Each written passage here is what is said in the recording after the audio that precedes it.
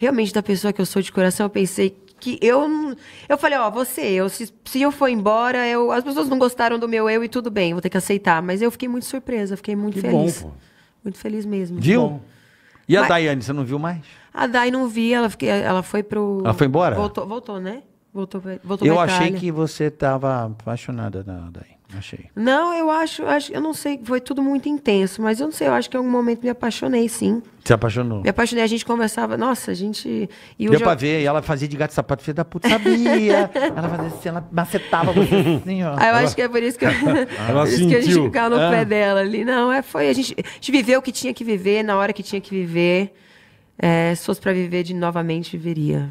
Não- é isso aí, Eline. Vamos pro superchat? Vamos Bora, nessa, irmão, tá. boleta. Nossa, Pô, tô, tô muito feliz de você estar tá aqui. de boa. De gente, boa. Oh, eu queria, ele sabe quanto que eu queria vir aqui. Ó. Verdade, Deixa estourado verdade. esse programa. Eu falei, oh, não acredito. Agora você tá estourando aqui, ó. Tá dando uma audiência.